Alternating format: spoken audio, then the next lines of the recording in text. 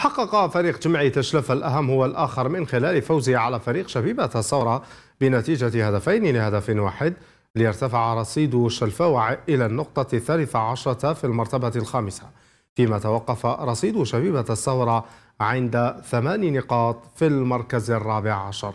تغطية حمزة زروقي كنا نعرفوا بلي المقابلة راح تكون صعيبة نظرا لقيمة الخصم آه، اللي آه، اللي راهو اللي راهو يمر بفترة حتى هو صعبة.